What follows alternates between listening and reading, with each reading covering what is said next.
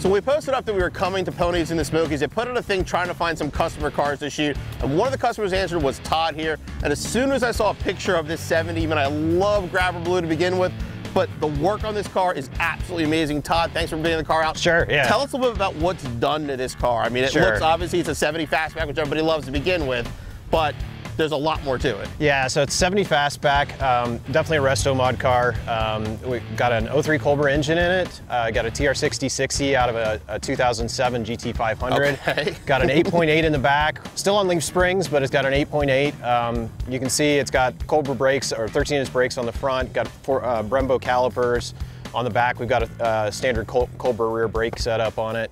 Um, The kind of the best of the classics and the best of the modern Mustang all kind of Yep, put together. Exactly. And that, that was that was kind of what I was going for. I love the outside looks and the body line, so I didn't want to mess them up too much. Gotcha. Um, and that's why, aside from the wheels and the brakes, you can't really tell that it's a, a resto mod car from the outside. There's nothing crazy for for you know like exterior cues or anything like that. I tried the to keep it as stock style. looking. Yeah, 100%. And even even when you go into the interior, I mean, there's there's touches of resto mod, but most of the interior looks like a stock interior. Now tell me what made you build this particular car? Is there a story behind it? Is there history with this car? My first car was a 1970 Fastback. Okay, okay. Um, my dad and I, we got it when we were 14. I spent a year and a half putting it together. You know, had a 351 Cleveland with burnt valves and rust all over it, and everything We've else. all you had know. those cars. So I, I, throughout high school, I ended up uh, doing a lot of work to the car. Um, got into college, decided to sell it. Okay. And then, We've all you know, three or four it, years yeah. later, you're like, I'd really like another one again.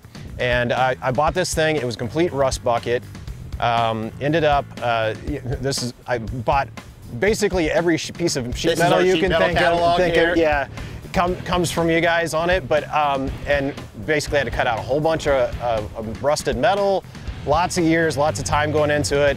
Um, I ended up moving the car across the country twice, Unfinished. unfinished. okay, which is a process in itself. Yeah. Uh, so lived in Indiana at the time when I bought it. Moved out to California. Now I live in Tennessee, and uh, just finished the car up two years ago. Okay. So the process I started it in 2007, So you got some time and it. let's just say there was a there was some quality time where it sat in the corner of the garage, not being worked on. We've all been there. So two more questions for you. Uh, why Grabber? I mean, I love Grabber Blue. I've had Grabber Blue cars. Is it was the car Grabber to begin with?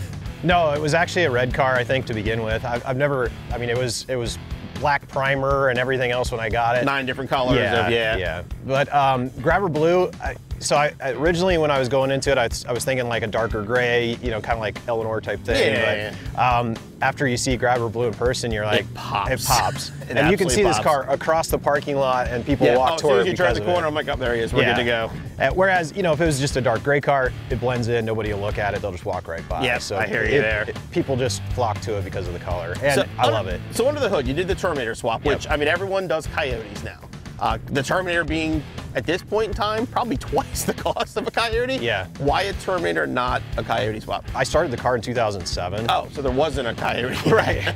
So I, I ended up buying the motor. I had a T56 I was going to throw behind it at, at the time as well. Okay. Um, bought it in 2008 and actually had stuff kind of together in the car in 2009 timeframe. Okay, okay. But a lot of things ended up happening, moving across the country twice and everything else. Never got it together until about two years and it ago. happened to fall into place Right. there. Yeah. So, I mean, the car's obviously beautiful. I love what you did to it. Sure. Is it done? I Yeah. mean, we always ask that question. No I- one, no one's ever told me their car's done yet. they're they're never done, right? I mean, I have a lo- little list of parts and stuff like that at home where you're like, well, everything is good right now, but I want it a little better, or I, I mean, want to improve bigger it. blower, more power, anything like that? Not yet, no. Everything is. Yeah, there, there, it, a lot of it's working out the little kinks and Yeah, stuff. yeah. Well, a Um, custom car like this, it takes right, some time yeah. too. I mean, how much have you driven the car? Got? I know you said you got it done recently. It's like 1,600 miles on it since I got it built. okay. Um, so you're driving it. yeah, yes, I mean, it, it's still not driven a lot yet. Yeah. Um, want to keep it fresh, want to keep it looking good for a little bit, and then, you know, we'll Yeah, get it it on the road you how many years to get it done? So now it's enjoy the work. Yeah, I, I, I have plans later in the year to take it like cruising the coast down in um, uh, Mississippi. Okay. So there's there's plans for more mileage this year. And the work sure. was this mostly done by you at home? Yeah,